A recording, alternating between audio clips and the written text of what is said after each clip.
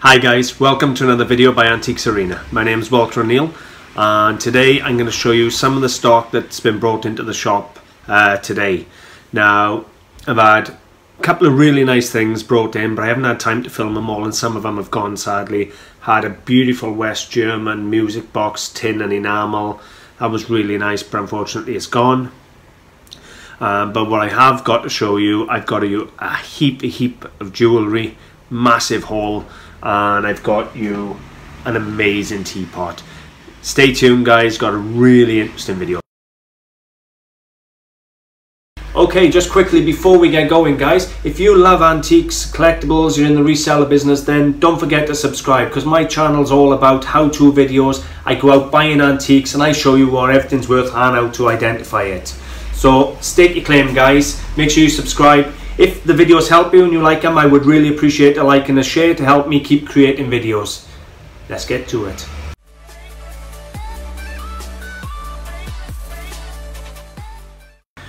Okay, so if we uh, get started in today's video, um, two, two items to show you, as I said, jewellery and the teapot. Now, teapot I've had is quite spectacular.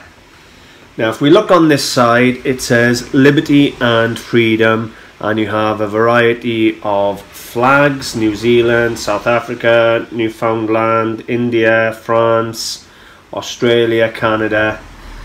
And you turn it around and on this side it reads War Against Hitlerism. This souvenir teapot was made from Dyson and Horsfall of Preston to replace aluminium stocks taken over for Allied armament for using in weapons in 1939. That right shall prevail. And the piece was made, produced by Crown Ducal. Um, what can I say? It's an anti-Hitler teapot. So basically, the metalware was being taken for machinery, weaponry, you know, all the brass was weighed in and so forth. So they made these and it's a really nice example. So we've got a 1939 Crown Ducal, real nice piece of World War II militaria.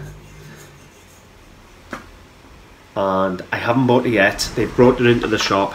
Now I've had a look on eBay and to be honest with you I was expecting it to be worth a lot more if you stay tuned I'll show you the types of monies these are online now. They're all over the place. Um, when I looked at this I thought good money really good money because you know what? In 20 years I haven't had one before.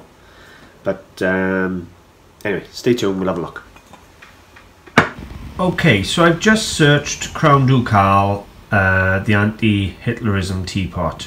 Now there's one here sold best offer they were asking 70 pounds and if I scroll down there was one sold on three bids on auction sorry about that for £47.77 now if I come across actually currently on eBay you have one for 95 one for 80 and one for 89.99 so they are still good money but they're nowhere near as uh, high as I was expecting to be totally honest with you.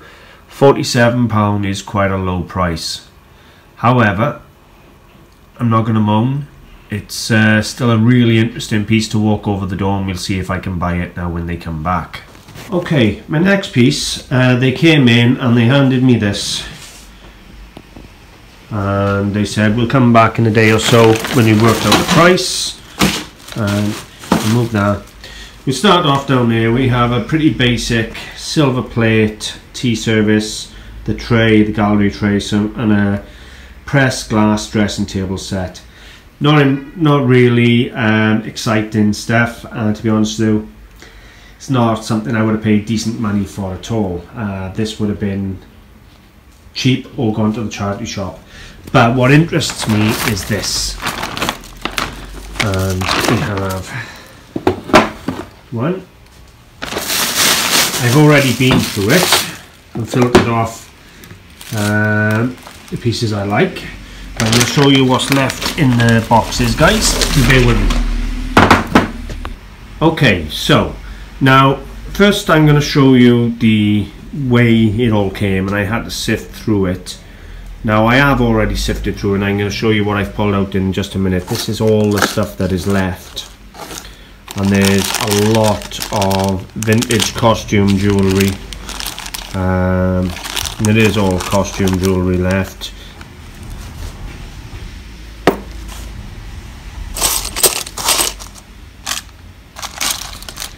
And there was tons and tons of the stuff. Come across here, you know, there's 70s brooches, miracle brooches, and things like that.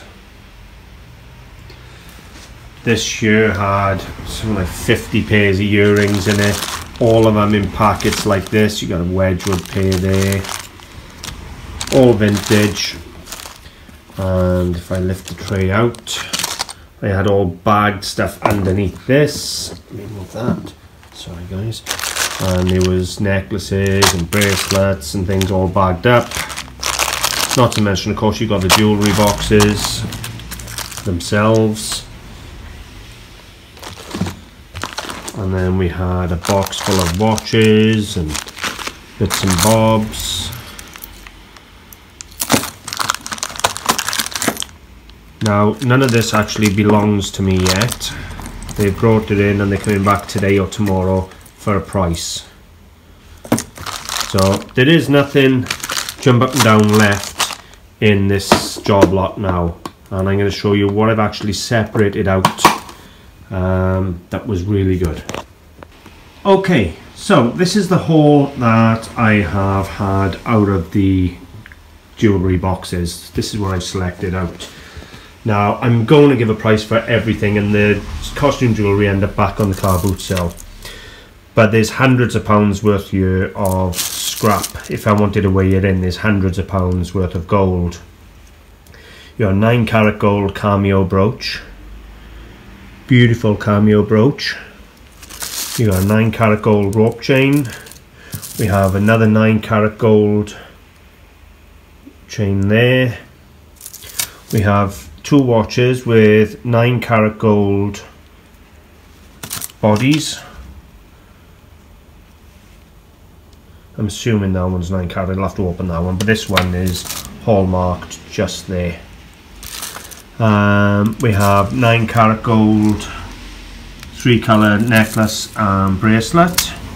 We have another 9 carat gold necklace there. We have 9 carat gold necklace uh, with garnets and diamonds there. A little possibly diamond ring in 9 carat again and some garnets in 9 carat. We have a large selection of gold earrings. As I've said, there's hundreds of pounds, there's a little bit of scrap, there's some good. Um, there's a hundreds of pounds worth of gold just in the weight alone.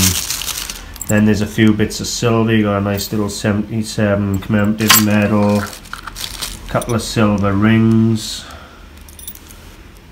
nice little Art Deco one there, another silver ring there,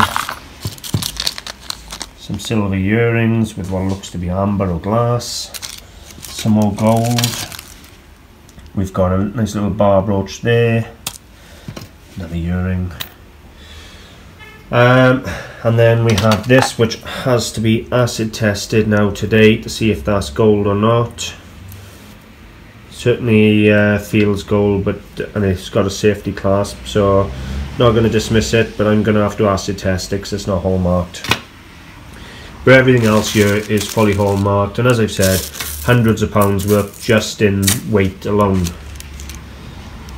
so we'll see if I uh, can buy it then I will be very happy. There's a few pieces here I'll be very keen to own. There we have it, what can I say? There has been a lot of good quality gear coming in. I haven't been able to make the films for a few weeks tidy and to be honest with you, I've missed quite a lot. Those gearbox cars that I showed you in my one of my last few films, they sold within 24 hours. Um, so I will be keeping an eye out for them and I suggest anybody who sees those you buy them. Um, I sold them all literally to one person who come in so um, loved them bought them inside say 24 hours so I will keep my eye open for them.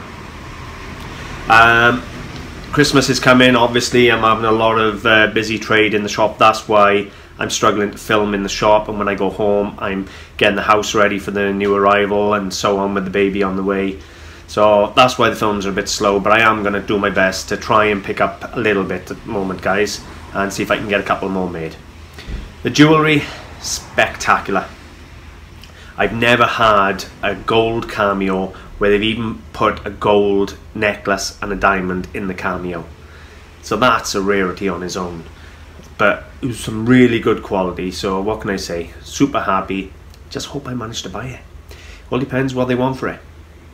Um, if we can come to an arrangement and I'm not going to be making a silly offer I'm going to be offering in the hundreds um, my offer is going to probably start at about 300 to be honest with you for all that so we'll see the costume jewellery will go out down in car boot sale down in Bessemer 50p and a pound a piece but that should still pull 40 or 50 pound back and then I got that bag full of gold and silver at the end. So fingers crossed, if I can buy that for £300 I will be jumping up and down. Guys, I'm going to leave it there. Keep eye on my eBay, you may see some of that stuff on there very soon. Thanks for watching, bye for now.